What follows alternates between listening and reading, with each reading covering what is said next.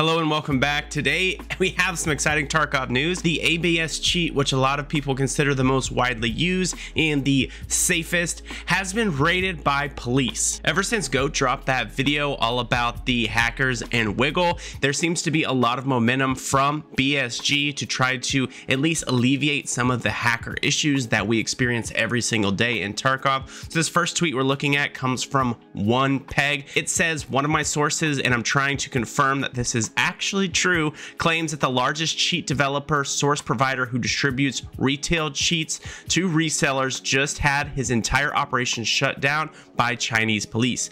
Battlestate Games might have gotten something done. Ever since that GOAT video blew up, it seems like BSG has really put the pedal to the metal to try to resolve all the cheating that's in Tarkov. So the first picture we're taking a look at is from the cheating Discord. They put at everyone quick update due to the police blocking our servers and arrest. The server data has been completely lost. I do not know what this means at the moment, so stay tuned for further updates.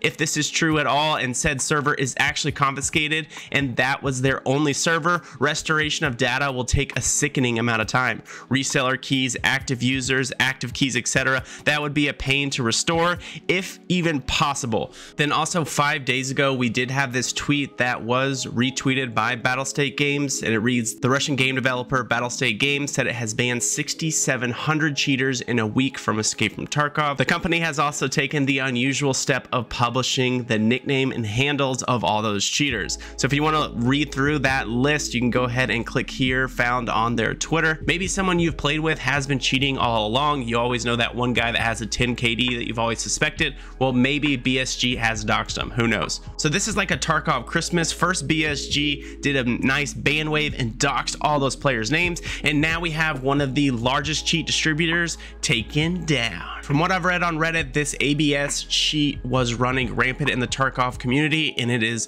one that a lot of people were using. And I say good riddance. I'm really glad to see that Tarkov may have a few less cheaters on their hands, so that way we don't get head-eyes out of nowhere. Anyways, that's just a quick update for you guys. Feel free to drop a like and comment in the comment section about maybe what video you want to see next, and I'll see you guys later.